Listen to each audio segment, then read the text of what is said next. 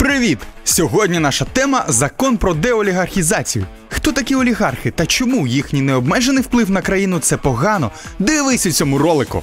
Перші згадки про олігархів відомі ще за часів давньогрецьких філософів Платона та Арістотеля. З часом поняття олігарх трансформувалось, але суть його не змінилась.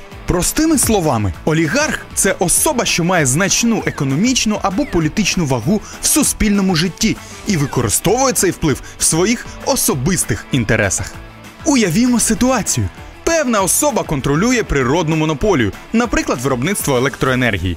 Їй хочеться отримати надприбутки, щоб придбати нову яхту та нерухомість у Лондоні. Як завдяки своєму впливу вона може це реалізувати? Найперше влаштувати дефіцит на ринку. Виробництво електроенергії зменшиться, виникне дефіцит, і ціна поповзе вгору. Відповідно, потрібно буде підняти вартість електроенергії для всіх споживачів. Далі підсвітити цю ініціативу у підконтрольних ЗМІ, де особа є кінцевим бенефіціарним власником.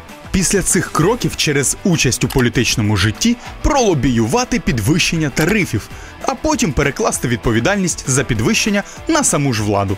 Очевидно, що заплатити за це все повинні ми з вами, тобто звичайні споживачі, від власника невеликого бізнесу до твоєї бабусі. Стоп! Не все так просто. Саме для протидії таким ситуаціям ухвалено спеціальний закон. Закон про деолігархізацію передбачає чотири чіткі критерії олігарха. Якщо хтось водночас відповідає трьом з них, його або її мають внести до спеціального реєстру. Рішення про включення до реєстру приймає виключно Рада національної безпеки та оборони за поданням одного з державних органів, які зараз зображені на екрані. Особам, включеним до реєстру, буде надзвичайно складно реалізувати різноманітні сценарії обкрадання українців. Таким був цей випуск. Детальніше читай за посиланням в описі до відео. І до нових зустрічей!